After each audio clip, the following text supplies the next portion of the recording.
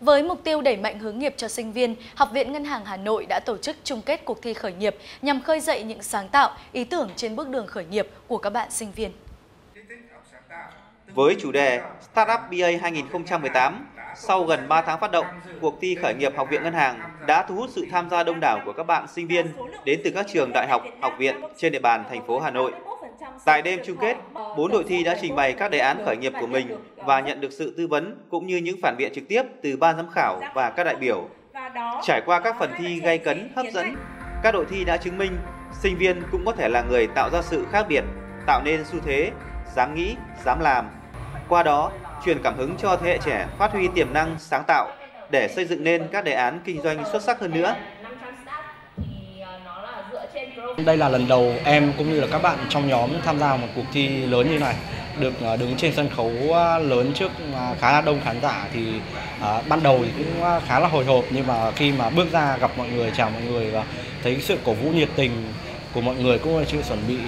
rất là kỹ càng của ban tổ chức thì nhóm em đã lấy lại sự tự tin và thể hiện khá là xuất sắc cái phần thi. Dự án của nhóm em là dự án giải pháp bữa ăn thông minh Smart Diet và trong thời gian tới thì bọn em sẽ cố gắng chạy để có thể tung ra ứng dụng trên App Store và CH Play thì khi ứng dụng ra đời thì sẽ góp phần giúp nâng cao sức khỏe cũng như là chất lượng chất lượng cuộc sống của mọi người dân Việt Nam. Các dự án ý tưởng năm nay cực kỳ sáng tạo và cực kỳ nói chung là nhiều cái ý tưởng mà tôi nghĩ rằng là không thể nào tưởng tượng là các em có thể có những ý tưởng mà nó hay mà thiết thực trong cái cuộc sống như thế. Đấy thì đấy là một cái là điểm mới, điểm sáng trong cái năm nay. Là năm thứ hai diễn ra, cuộc thi khởi nghiệp của Học viện Ngân hàng đã dần khẳng định được uy tín, vị thế và là một trong những cuộc thi lớn nhất miền Bắc trong các trường đại học, học viện là sự kiện thu hút hàng nghìn bạn sinh viên cũng như những người đam mê khởi nghiệp, góp phần tạo nên phong trào khởi nghiệp của sinh viên trong các trường đại học, học viện trên cả nước.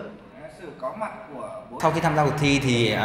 bọn em có rất là nhiều những kiến thức về marketing, về tài chính, về uh, quản trị sản xuất mà trước đấy bọn em không có thì đó là những điều rất là đáng quý. Các bạn thí sinh tất nhiên là mình ý tưởng rất là hay nhưng mà mình phải làm thế nào? Cần phải tham gia phải cần phải học hỏi nhiều hơn nữa để mà mình biến cái ý tưởng đấy nó thành hiện thực nó hiện thực hóa. Ngoài cái việc rằng là mình ờ, có ý tưởng hay này à, mình đam mê nó này. Thứ hai là làm thế nào mà để mà các bạn cần phải đào tạo thêm về cái cạnh tài chính nữa để mà có thể quản trị tốt được cái dự án của mình.